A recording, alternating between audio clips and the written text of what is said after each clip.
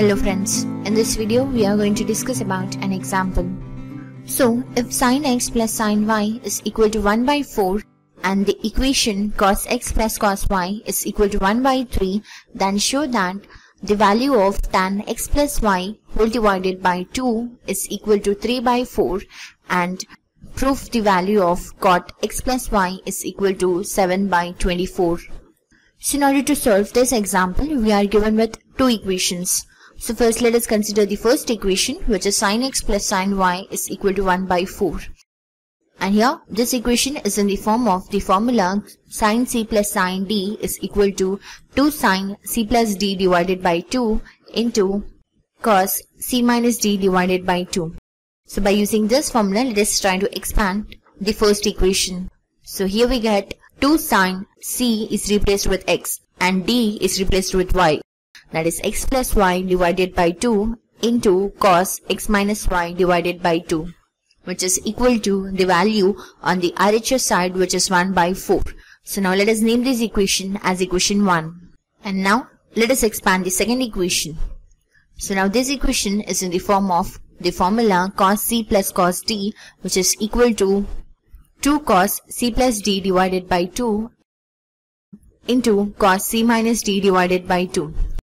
So by using this formula, we get 2 cos x plus y divided by 2 into cos x minus y divided by 2 is equal to 1 by 3. And now let us name this equation as equation 2. And now here we have to prove the value of tan x plus y divided by 2. So here we have trigonometric ratio as tan. So we already know that sine by cos is tan. So now let us divide equation 1 by equation 2.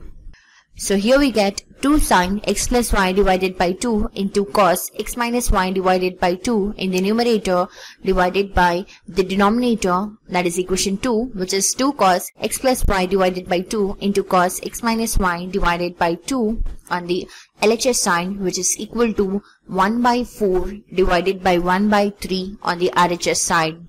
And now let us try to simplify. So here 2 in the numerator as well as in the denominator gets cancelled and similarly cos x minus y divided by 2 also gets cancelled. So therefore here we get sine by cos which is nothing but tan. So tan x plus y divided by 2 is equal to 1 by 4 into the reciprocal of the denominator which is 3 by 1. And now let us multiply these terms. So here 3 into 1 is 3 divided by 4 into 1 which is 4. So hence we proved the value of tan x plus y divided by 2 is equal to 3 by 4. And now in order to prove the value for cot x plus y is equal to 7 by 24, let us consider the formula for tan a which is equal to 2 tan a by 2 divided by 1 minus tan square a by 2. So here we already proved the value of tan x plus y divided by 2. So let us name this equation as equation 3 and the formula as equation 4.